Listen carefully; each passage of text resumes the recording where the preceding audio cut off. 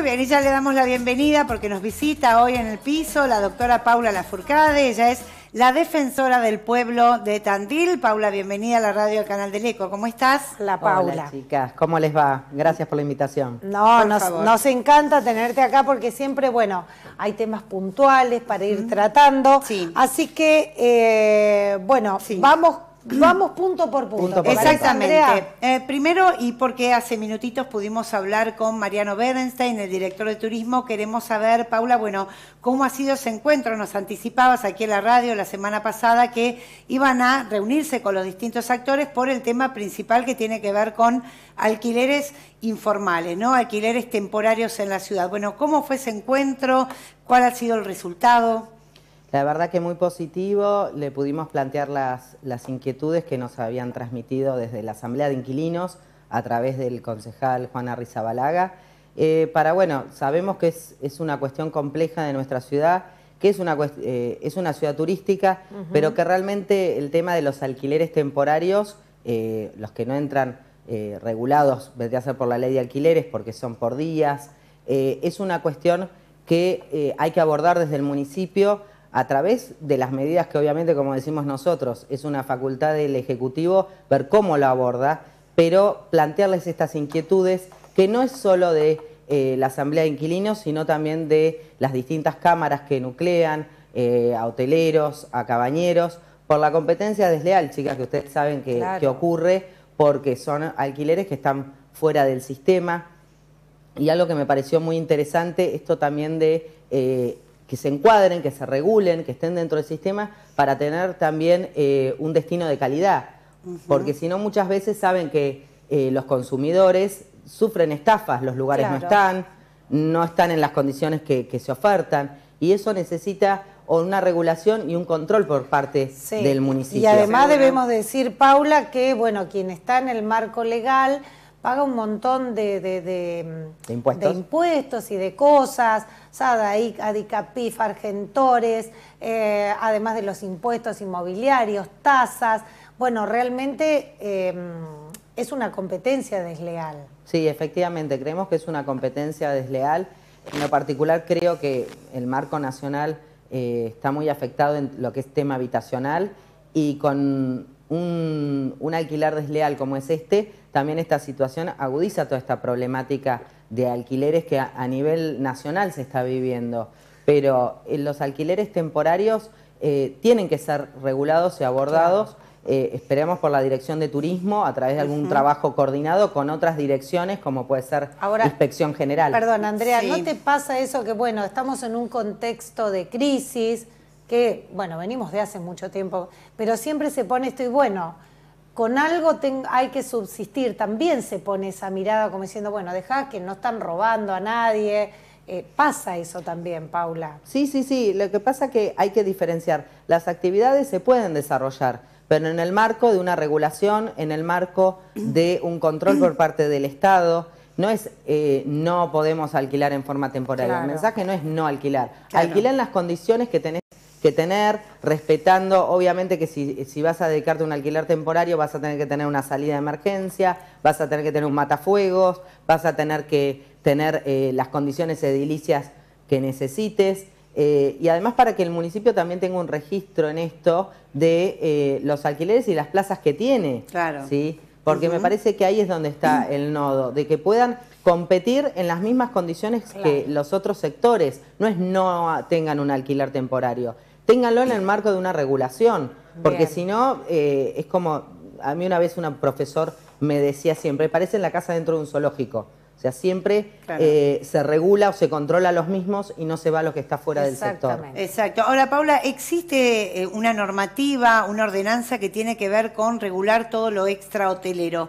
¿No encuadran los alquileres temporarios en esto o, o no se aplica? Desconozco cuáles son los términos de esa ordenanza, pero que Digo, ¿qué, ¿qué es lo que pasa con eso, con eso escrito?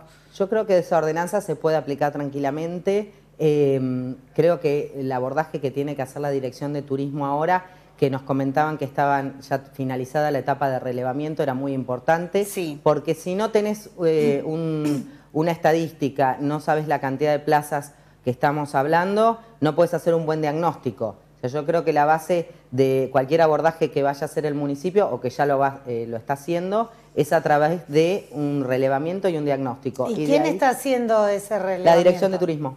Sí, hoy nos contaba Mariano Berenstein que eh, ya tienen todos esos datos relevados y que están trabajando en un plan de, acción que puede llevar adelante incentivos ¿no? para que estas personas que están dentro de la informalidad puedan pasar a, a regular y a registrarse. Sí, sí, sí. Yo creo que el plan de acción, una vez, por lo menos lo que pudimos adelantar de la reunión fue a través del diagnóstico, establecer un plan de acción que va a tener como estas dos modalidades, el proactivo, el, de, el de fomento, de registrate, estos van a ser los beneficios, y después obviamente del reactivo, que es la contracara. No te registras, te controlo, te inspecciono, eh, te, claro, porque te estoy dando una posibilidad exacto, Y no lo estás haciendo. O sea, yo creo que las dos caras, como en todo, es esto, el proactivo, el registrate, estos son los beneficios, porque no es solo obviamente van a pagar impuestos, sino que van a tener beneficios eh, a través de los diferentes programas, pero también el reactivo, si no te registras, bueno, estas van a ser tus consecuencias. Bien, em, otro tema, este, vamos a recordar a la gente que estamos dialogando con Paula Lafourcade, defensora del pueblo. Otro tema tiene que ver con el informe anual. Siempre van preparando bueno, los temas que lleva tiempo, porque además son muchas las consultas, las resoluciones, las derivaciones. No debe ser fácil terminar un informe. No, no, no, no, no es fácil, eh, lleva mucho tiempo porque es un organismo multipuerta entonces son muchísimas las áreas en que intervenimos, municipales, eh, en cuanto a la competencia y también por ahí gestiones con niveles nacionales y en otros casos provinciales. Y es todo el trabajo de un año que uno lo quiere mostrar al Consejo Deliberante, que vamos a presentarlo el 28 de abril, ya nos dieron fecha en la sesión del 28, empezaremos nosotros, y es un raconto de todo el año, desde estadístico, porque esto es importante también, la Defensoría eh, todos los años muestra las estadísticas del número de vecinos atendidos, de la cantidad de reclamos, los que son municipales por qué área, los derechos involucrados, que también es importante, y luego toda la gestión que desde la Defensoría, eh, desde proyectos que se participa, eh, jornadas que se han realizado. Sabés que el año pasado ya pudimos, gracias a, la pandemia que, que aflojó un poco, salir a los barrios. Claro. Este año, ya ustedes chicas me entrevistaron, salimos a la plaza. bueno, el mes que viene ya dijimos que vamos para la avenida Actis, para otra avenida de Tandil, bueno. para que los vecinos puedan ese día saber que estamos nosotros recibiendo sus Un poco más cerca, claro, claro. en distintos puntos de Tandil, no siempre en la plaza del centro. Pero a su vez, Paula, esos informes, ¿no? Año a año sirven para saber dónde estamos, si esos problemas pudieron resolverse, si continúan en el tiempo, digo, también les sirve a ustedes para ir a, efectivizar un nuevo reclamo. Mira, nosotros de la estadística lo que sí te puedo adelantar es que en las cuestiones de salud, cuando llegan a la Defensoría, un 93% se han ah, resuelto favorablemente a lo peticionado. Y en general, es muchísimo. 93%. En materia de salud. De y más de 300 ¿Y en los temas que más les cuesta? Y después, eh, no, en general tenemos un 83% de resolución a lo peticionado o a lo consultado, porque quizá la persona no busca hacer una queja, sino una consulta o un asesoramiento de dónde dirigirse, cómo es eh, o cuáles son las cuestiones que quiere resolver y uno le da... Se le dio respuesta, básicamente. Se le dio una respuesta porque la gente muchas veces no sabe a dónde ir. Que vengan, que se acerquen a la acera 792, si no saben a dónde dirigirse, nosotros también le vamos a orientar y a veces son orientaciones derivadas porque llamamos y avisamos al organismo. Para que vaya directo. Ahora, Paula, no sé si lo vas a decir, pero ¿cuál es el organismo que menos respuesta te da? no, generalmente tenemos buena respuesta por parte del municipio. Eh, siempre, como digo yo, los funcionarios, esto no, no, tendría el éxito que tiene si del otro lado no tendrías un interlocutor que escucha el reclamo de los vecinos que ha llegado a través de la Defensoría, que a veces es una gestión que se puede solucionar con un llamado telefónico, otras veces con un pedido de informe. Hay, hay cuestiones que son muy complejas y que nosotros utilizamos la figura de la recomendación. Recomendamos que Em, se controle o haya mayor frecuencia de controles en la zona del dique, en la zona del Parque Independencia por los ruidos molestos, las picadas. A veces son recomendaciones que se hacen a las áreas para que intensifiquen los controles. En distintas. Hemos hecho, el año pasado hicimos... Por denuncias que, reciben, que reciben ustedes. Nosotros hicimos cuatro de, recomendaciones y un informe especial al Consejo Deliberante, que es otra facultad, el informe especial sobre la grave situación de los animales de gran porte suelto y la necesidad de que el Consejo Deliberante em, realice una legislación especial, más actualizada, sobre esa temática en particular, no con caballos, la de caballos, que sea diferente a la de animales potencialmente peligrosos o animales domésticos. Bien. Paula, también tenemos entendido que pudiste llevar adelante, no sé si, si te convocaron o si vos este, fuiste quien auspiciaste. Todo me convocan. ¿Fuiste quien auspiciaste este encuentro con, bueno, concejales del oficialismo? No, en esta no, en esta convoqué yo. Ah, en esa convocaste No, sí, pero pensé que era por reclamo. Ah, no, bueno, ¿cuál fue el espíritu del encuentro? ¿Qué querías, este, nada, exteriorizarles?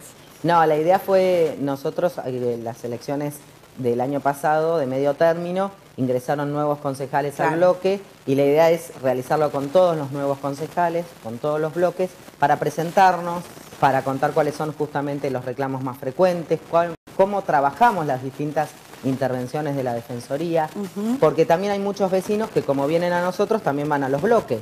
Claro. Entonces, eh, bueno, que sepan que estamos nosotros, cómo articulamos las distintas problemáticas y un poco establecer esto, un canal de vínculo, porque nosotros eh, nacemos del Consejo Deliberante, ¿sí? por eso le rendimos cuenta, entonces siempre el trabajo mancomunado, colaborativo, es el que mejor resultado da. Claro. Seguro. Vamos a recordarle a la gente buenos días, horario de atención, más allá de estas, eh, estas salidas que te gusta hacer con, la gente para, para acercar un poquito más la Defensoría del Pueblo. Eh, la oficina, dónde está ubicada, horarios o a través de mail, cómo pueden contactar. Las Heras, 792, esquina Lem, está muy claro eh, cuál es la esquina. Ya yo creo que la gente también ya empieza a tener pertenencia con la institución, que tiene, es muy nuevita, es de 2019, y pueden mandar un mail también a defensoría, arroba defensoría del pueblo tandil, o acercarse, solicitar un turno, eh, también eh, tenemos distintos canales de Facebook, Instagram. La página web está hasta las preguntas más frecuentes, un modelo de reclamo. Eh, y que no tengan miedo de acercarse, porque la verdad que somos multipuerta en serio y distintos temas, como te digo, por ahí los de salud es muy notorio porque es urgente la intervención del organismo. Seguro. Cuando lo solucionás... Ahora, ¿qué, te pasa a vos, ya desde ah, lo humano? personal. Cuando solucionás un tema que ves la persona que llega, la familia desesperada, porque bueno, cuando es tema de salud, por chiquito que sea, este, la situación uno se pone muy mal, ya está vulnerable, cuando podés a veces con un llamado o algo, ¿cómo, te, sentís vos en lo personal? Eh, yo muy bien en lo personal, siempre digo que cuando, cuando el vecino o la vecina no, no sabe y a veces escuchas cómo se vulneran los derechos y decís, ¿por qué no me lo trajo a la defensoría y la podríamos haber ayudado? O a veces, cuando es un amparo individual, eso se articula generalmente con la Defensoría Federal o con algún mm. abogado o abogada de confianza de la persona, pero a veces con una gestión, con una derivación a la Superintendencia de Salud, eh, con un, llamado al sistema integrado para que en el mientras tanto que eh, la obra social quizá no está cubriendo eh, la prestación, el hospital sale a colaborar. Entonces, ese trabajo entre todos y que se solucione y se soluciona rápido, a veces en dos, tres días, te da mucha satisfacción porque la ves a la persona en el ojo del huracán de la administración pública. Y es desesperante cuando vienen los vecinos y te dicen, es el tercer organismo que caigo. Sí, y cuánto nos falta también, eh, Paula, y ahora después de la pausa vamos a hablar de este tema, porque te vamos a tener un ratito más, cuánto nos falta eh, para conocer nuestros derechos, realmente. Eh, tenemos desconocimiento total, pero bueno, vamos a meternos en ese tema y en una presentación que han hecho también por transporte de, de media distancia. Muy bien, y nosotros continuamos aquí dialogando con la doctora Paula Lafourcade, la defensora del pueblo local. Y Paula, un tema que había quedado, bueno, previamente es una presentación que ustedes han hecho por el tema del transporte de media distancia aquí en la ciudad. ¿Qué es lo que está ocurriendo? Sí, nosotros recibimos el reclamo de más de 169 firmas de estudiantes, docentes, eh, de nuestra ciudad que nos manifestaban las dificultades que tienen para poder estudiar, ir a los trabajos, porque ustedes saben que se ha retirado la empresa El Rápido de nuestra ciudad, que actualmente queda vía TAC, que las frecuencias que tienen son muy, muy pocas para, para lo que es esta región del centro de la provincia y con la dificultad que ustedes saben que esto conlleva para estudiar los lazos familiares, el trabajo, porque hablábamos de frecuencias mañana y tarde, siendo para ellos imposible muchas veces eh, asistir a los establecimientos educativos, asistir al trabajo, porque no hay frecuencia, no hay micros de lo que sería media distancia. Y también pensando, Paula, en muchos chicos que son de ciudades aledañas y que vienen a estudiar a Tandil, o sea, no solo el tandilense que sale, sino aquel que tiene que llegar a la ciudad. Sí, el reclamo, la verdad que es un reclamo que se puede decir regional, eh, que interesa a todas las localidades del centro de la provincia, que esto es un problema, como vos bien decías, Andrés, hasta La Plata, eh, y las dificultades que genera son muchísimas y este problema de falta de conexión en algo que como decimos a veces son 100 kilómetros o un poquito menos, eh, donde tendría que haber una frecuencia de transporte mucho más seguida. Claro, o sea... De lo que es transporte media distancia. Claro. Claro, sí, han quedado, tengo entendido, cuando uno va a la terminal ve dos empresas nada más, bueno, hay distintos destinos, pero eh, ¿qué tipo de presentación hacen? ¿A quién? ¿Qué es lo que solicitan? Nosotros la presentación eh, la hicimos primero a la Comisión Nacional de Transporte porque intervenían los usuarios eh, del servicio público, eh, solicitándoles obviamente una mayor frecuencia. Después nos comunicamos también con el Ministerio de Transporte de Nación que va a empezar a hacer las gestiones de este reclamo. Y también lo vamos a dirigir porque es un transporte interprovincial en realidad, al Ministerio de Transporte de la provincia, también vamos a llevar el reclamo, eh, porque nos parece que es algo eh, que interesa a toda la ciudadanía de Tandil, a toda de ciudad de Tandil y de la región. Ciudades como Juárez, Olavarría, Azul, que está en La Plata, deja, la verdad, muy incomunicados eh, a todos. Sí, y en una ciudad turística donde se supone que tenemos que tener más cantidad de frecuencia, una ciudad universitaria, este, es como que vamos en retroceso en ese sentido, ¿no? Sí, la verdad que sí, estas son las firmas que llegaron a la Defensoría, pero yo creo que si abrimos el reclamo, eh, todos vamos a apoyarlo porque tenemos que tener mayor frecuencia eh, como hay en, otros, en otras provincias donde hay eh, transporte de media distancia, no de larga distancia, sino que son transportes más pequeños. Eh, quizá alguna de ustedes ha viajado a Córdoba y sabe que hay los fonobusos, que son transportes más pequeños, que tienen una frecuencia prácticamente de cada hora, media hora, 40 minutos, una hora, y son permanentes. Entonces, eso hace una fluidez que justamente que hablábamos también de las dificultades de alquiler, imagínense un estudiante venir a Tandil o, ir a Azul o a otra ciudad a estudiar cuando están a 100 kilómetros y podrían ir y venir en el día. Claro. Sí, lógico. Aparte, Paula, también con el riesgo de que esa demanda tenga que ser atendida y probablemente, muchas veces sí, hay combis que están totalmente eh, eh, reguladas, ¿no? Con todos los papeles, con Volvemos a lo mismo. pero hay alguien que puede encontrar un negocio dentro de esta demanda y que no esté, digamos, esté bajo lo informal. Sí, sí, sí, es que te puede pasar esto que estabas diciendo vos, que termine siendo absorbido por un sector informal que no está regulado y que lleva obviamente un gran peligro a la seguridad y al transporte. Claro, porque ve ese hueco, esa faltante no cubierta. Eh, ¿Esto se sabe cuándo podría llegar a tener resolución o es un tema engorroso? La verdad que nosotros estamos haciendo las gestiones que tenemos que hacer en los distintos organismos. Esperemos tener una reunión o mayores novedades en breve porque recién esta semana pudimos ingresar los pedidos eh, a los distintos organismos, a la Comisión Nacional de Transporte, eh, al Ministerio de Transporte de Nación y nos queda eh, transporte de provincia para poder encauzarlo formalmente, porque si no, si uno lo, recibe al reclamo y no ingresa las, notas formales y los pedidos, después queda en, la palabra. Lo bueno siempre es tener las gestiones hechas eh, para poder también seguir la trazabilidad y esperar que se concreten reuniones eh, con los distintos actores y con la Cámara del Transporte quizá para, para ver si se puede cubrir el destino con mayor frecuencia. Bien, ojalá, ojalá sea lo más pronto posible porque bueno, hay un segmento que realmente está siendo muy, muy perjudicado en este sentido. Bueno, te agradecemos porque la, hemos... Sí, este, la, extendimos un, Ay, qué divina, pues ella le encanta. Es un amor. Bueno, Paula, va, si, si querés tratar algún tema más, algo que no nos quedó en agenda. No, siempre que, eh, que ante la duda sepan que pueden contar con la Defensoría. Es un organismo que es abierto a la comunidad. Eh, pueden escribirnos al mail que pasamos, eh, a los teléfonos que ya les dejamos a las chicas, que consulten. Que si no es nuestro tema, los vamos a ver orientar y si es nuestro, lo vamos a gestionar y vamos a tomar la intervención eh, que necesitan y las gestiones que hagan falta para poder solucionarle el problema al vecino. Perfecto, Paula, nuevamente muchas gracias, que termines bien la jornada y felices, Pascuas, exactamente. Entonces, Defensoría del Pueblo local, tomen nota, la acera 792, eh, allí está ubicada, 4420-410 es el teléfono y ante cualquier duda para saber si, bueno, si esa, esa demanda o esa inquietud la tienen que este, precisamente claro. analizar ahí, defensoría arroba defensoría del pueblo tandil.gov.ar, esa es la dirección de mail.